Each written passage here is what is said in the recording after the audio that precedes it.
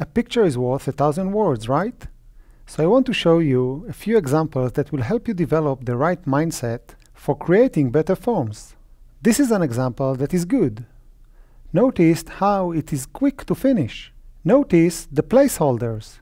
The fonts are visible and big enough. Notice the progress bar. And this is an example that is not so good. Notice how it is hard to finish. Notice that you don't see any progress. The font is too small. I hope you notice the patterns that well-designed forms share. In the next video, Cam and I will summarize the principles of a well-designed forms.